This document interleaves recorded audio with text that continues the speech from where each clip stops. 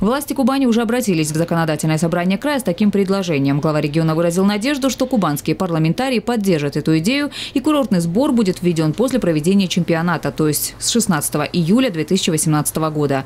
Напомню, что эксперимент с курортным сбором в России стартует с 1 мая. Для отдыхающих на Кубани он составит 10 рублей с человека в сутки.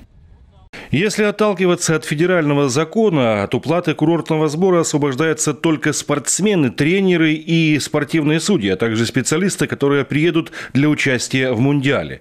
У болельщиков же такого права нет. Также нельзя забывать, что в состав делегации войдут и представители СМИ, персонал, участвующий в подготовке и проведении чемпионата. Все они также обязаны платить сбор.